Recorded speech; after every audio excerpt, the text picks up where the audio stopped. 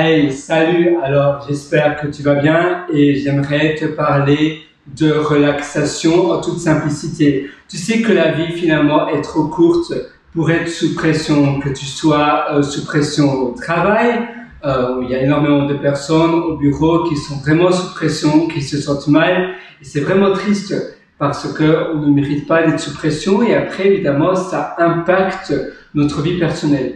Mais que ça soit aussi peut-être tu es freelance ou bien tu es un business, tu es une start-up, peut-être que tu te mets de la pression par toi-même et c'est vrai que c'est très facile de s'auto-mettre de la pression ou bien on a des objectifs trop élevés et on n'est jamais satisfait de soi-même et finalement on n'arrive pas à profiter des petits moments de la vie, euh, des moments avec ta moitié, des moments donc avec ton conjoint ou ta conjointe, des moments en famille, des moments avec toi-même, euh, des moments euh, de la vie de tous les jours, des moments de, de, de relaxation, des moments d'apaisement.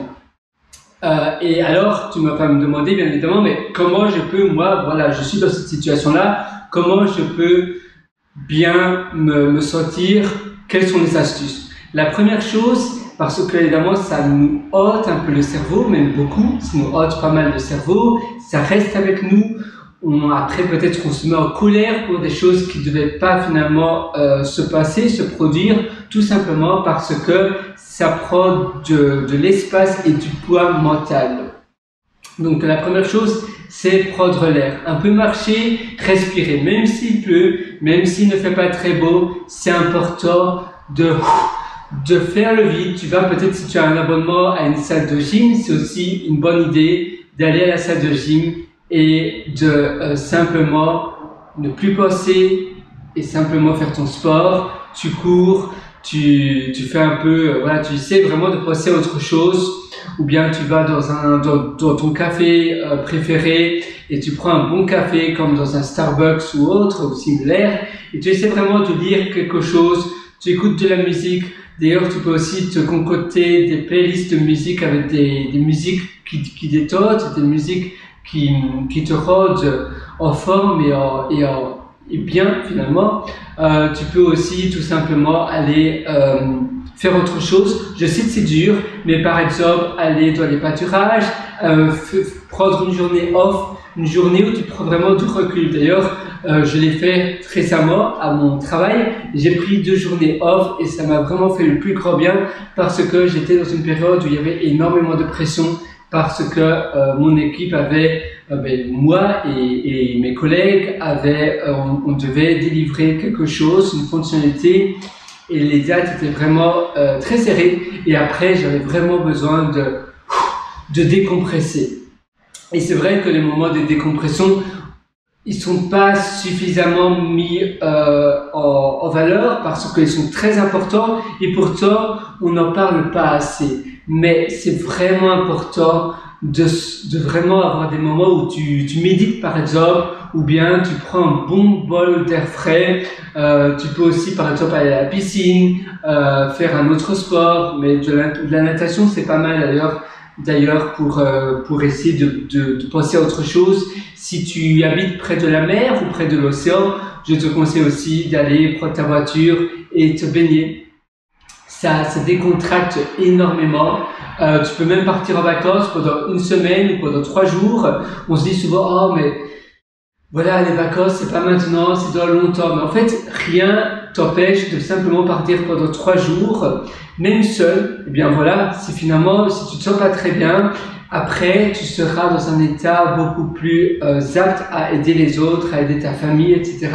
Mais il y a des moments où justement tu n'en peux plus, et c'est là où c'est vraiment important de décompresser avant que ça soit, euh, voilà, avant que tu sois vraiment dégoûté du travail. Tu peux aussi, et ça c'est d'ailleurs une très bonne chose, si tu as un chat ou un chien, c'est de caresser ton chat et ton chien. En effet, euh, surtout les chats, parce que le fait de caresser un chat, et surtout un chat qui ronronne, mettons, imagine j'ai un chat sur mes genoux, je le caresse, et ça apaise, et tu observes ce chat, et finalement tu te rends compte que lui ne se prend pas la tête. Et toi tu devrais faire pareil. Pourquoi se prendre la tête pour des choses finalement en réalité, ce sont des poussières, ce sont des choses qui n'en vaut pas la peine. Euh, tu sais, à l'échelle de l'univers, tous nos problèmes sont vraiment minuscules. à l'échelle d'un politicien, euh, président des États-Unis ou d'un très grand pays, euh, à l'échelle de grosses sociétés du style Facebook et autres, Meta et des très grosses sociétés de nos jours, ça ne doit pas nécessairement être des sociétés technologiques, mais Airbus, euh, Boeing, etc., eh bien, ces personnes-là ont des problèmes beaucoup plus gros que les nôtres. Alors, pourquoi finalement autoriser ces problèmes à nous pourrir la vie? La vie ne mérite vraiment pas d'être pourrie de cette manière-là. Et justement, le but de la vie, c'est d'être heureux, de bien se sentir. Et c'est pour cette raison-là que c'est important que tu fasses des moments de, de décompression, des moments où tu coupes tout et d'ailleurs, les notifications, ton téléphone, etc., tu coupes tout, tu laisses ton téléphone chez toi et tu passes une journée à faire une promenade, à aller faire de la randonnée ou quelque chose comme ça. Et tu verras, après le soir, tu te sentiras vraiment bien. Tu peux même faire un week-end euh, pour toi, un week-end perso, avec toi-même. Tu prends, tu loues une maison sur Airbnb, euh, dans la forêt ou bien à la campagne, et tu fais simplement des choses qui te font plaisir. Si tu aimes bien faire des choses sur ton PC, comme moi j'aime bien programmer pour le plaisir, si tu aimes bien euh, simplement faire de la détente, regarder des films, faire quelque chose comme ça, ça va vraiment t'aider. Et enfin, les activités après le bureau, ça aide aussi.